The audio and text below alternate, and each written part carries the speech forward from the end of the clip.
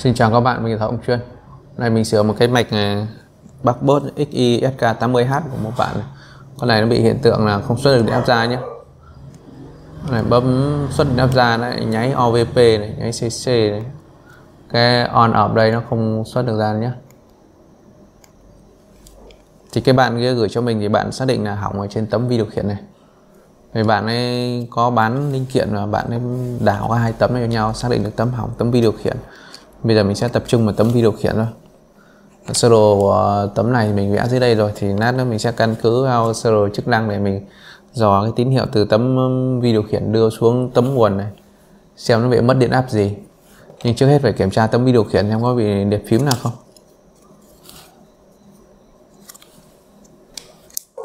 Lúc đấy mình nhổ hết ba phím này ra này.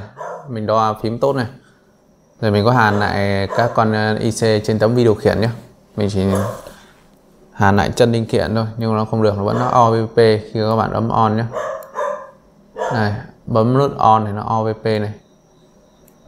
Bấm lại này. thì mình có ờ, lên lên, lên mạng mình tìm cái hướng dẫn dụng cái mạch này. Để nó có một cái phần này này. OVP nó là báo điện áp bảo vệ điện áp ra lớn.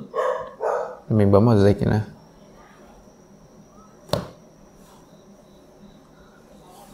Này đặt bảo vệ qua áp này. Mặc định là 37V nhé. Thì theo hướng dẫn của đó thì các bạn bấm giữ nút set để nó vào trạng thái cài đặt nhé. LVP là bảo vệ điện áp vào thấp là 4,7 này. Các bạn nhìn này OVP có áp là 0V này. Thế này thì nó không được nhé. Mình sẽ thử đặt lên 37V theo đúng của nhà sản xuất xem như nào. Để 35V đi. OCP là 5.2 nhé OCP là bảo vệ quá dòng ấy, quá dòng 0V này thì bảo vệ làm sao được?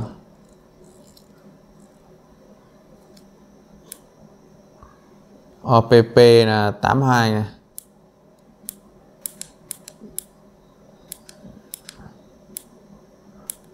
ba năm này. Cái này mình sẽ đặt về 5.0 thôi. 82W này.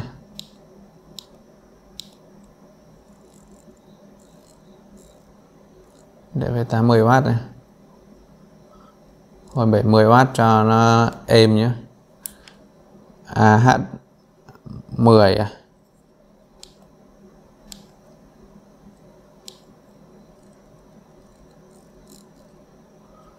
À không xét được à?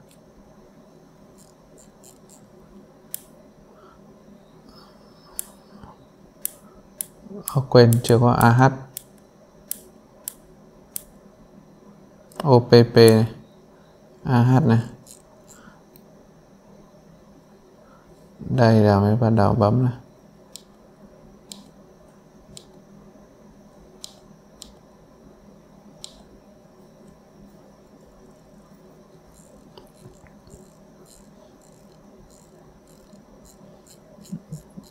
tối đa được 9 AH này. Đây, cái này phải đo dung lượng pin. OPH công suất này. Đây kệ đi.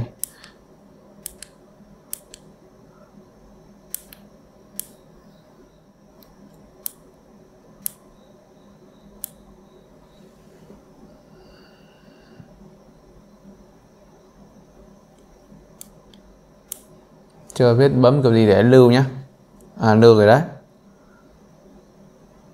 và bấm giữ một lúc à, tiếp theo là mình sẽ đặt à, à điện áp ra đang 22,9 nhé bấm on xem nào. Ngon. Điện áp ra 22,9 rồi nhé bạn ơi thế là ok rồi.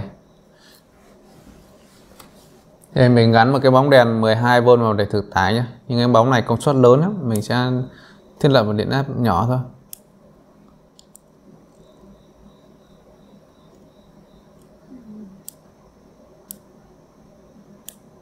CV là 3V này 2V thôi. 2V 3A nhé On à?